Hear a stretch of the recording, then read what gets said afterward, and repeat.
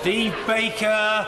Speaker, with exit day, with, with exit day fast approaching, will my right honourable friend now give instructions to the whole of government that the first, the first priority of every department must be domestic preparedness, whether we leave the EU with a, with a deal or without?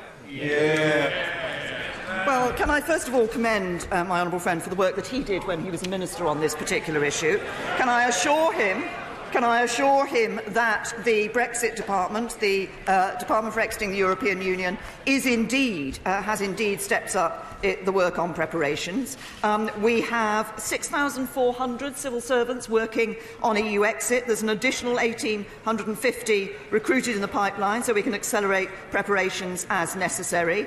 We've passed necessary laws such as the EU Withdrawal Act, an historic act passed in this House. Uh, obviously, there are other pieces of legislation like the Sanctions Act, the Nuclear Safeguards Bill. We're publishing the technical notices on no deal preparations. We are ensuring that our preparations are being made, and our preparations are made for every eventuality. We're working for a good deal. We prepare for every eventuality.